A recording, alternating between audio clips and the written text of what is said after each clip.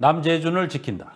국정원의 증거 조작 사태를 수습하면서 보여준 정권의 확고한 입장입니다. 검찰은 남재준 국정원장은 수사 선상에 올려놓지도 않음으로써 정권의 입장을 수용했습니다.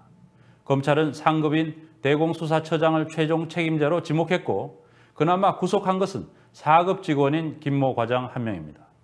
그러나 이 사건을 계속 추적해온 뉴스타파는 이런 결과를 받아들이기 어렵습니다. 이 사건은 두 정부를 거치며 일어났습니다. 연루된 국정원 간부와 요원들도 그 숫자가 많을 수밖에 없습니다.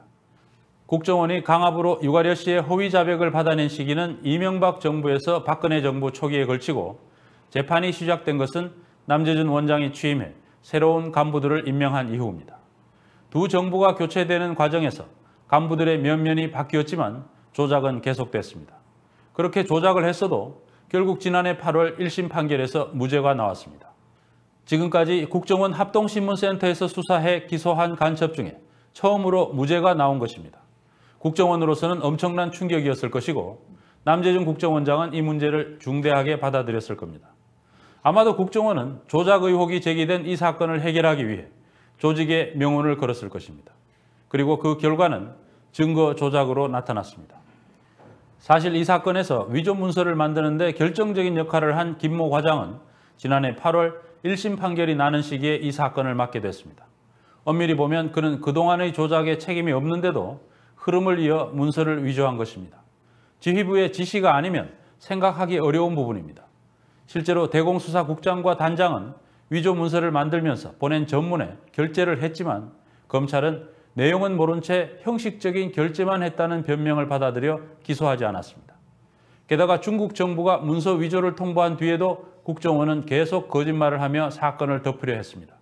백보 양보해서 만약 남재준 원장을 비롯한 간부들이 위조를 몰랐다면 이때는 철저하게 진상조사를 했어야 합니다. 그러나 국정원은 계속 검찰 수사에 저항하며 싸웠습니다.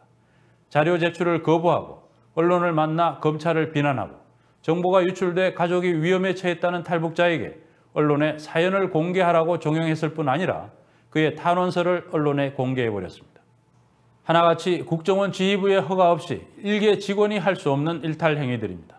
결국 이런 상황을 종합하면 이 사건은 두 정부에 걸친 간첩 조작 사건이고 그 조작과 은폐 과정에 수많은 국정원 간부 및 요원들이 연루돼 있고 최종 책임자는 바로 남재준 국정원장일 수밖에 없는 것입니다. 그러니 어떻게 자신이 국정원을 황골 탈퇴시키겠다는 남재준 원장의 말을 믿을 수 있고 어떻게 국정원은 황골 탈퇴할 거란 박 대통령의 말을 믿겠습니까?